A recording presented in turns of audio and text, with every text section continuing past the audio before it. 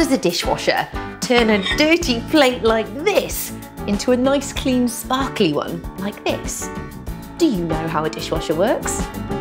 Let's find out. How does it work?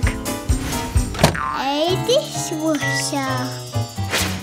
To see what goes on inside, first we need to get all the clean dishes out.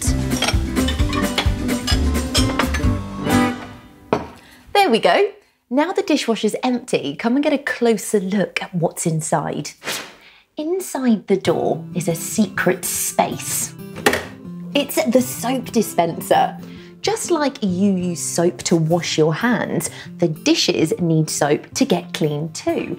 And this is where your soap tablet or liquid soap goes. But what do you think we need to mix with the soap to get the dishes clean? You're right, it's water. But how does the water get inside?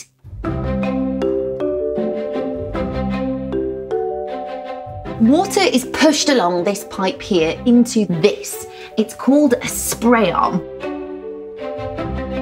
And there's one at the bottom and one at the top. Little holes here all the way along that spray out the water. It's a bit like a big spinning shower. Let's discover how this dishwasher works. When the dishwasher is full of dirty pots and pans and the door is closed, we press the start button and the machinery inside springs into action. First, water starts pouring in through a little spout at the bottom. To get the dishes nice and clean, the water needs to be hot. So it's heated up by this. It's called the heating element, and as it gets hot, all the water around it gets hot too. Then it's time for some soap. You might hear that clunk noise if you listen really carefully outside a dishwasher. The soap mixes in with the water and then it's pushed through a pipe to the spray arms. As the water is sprayed at the dishes really fast, all the bits of food are washed off.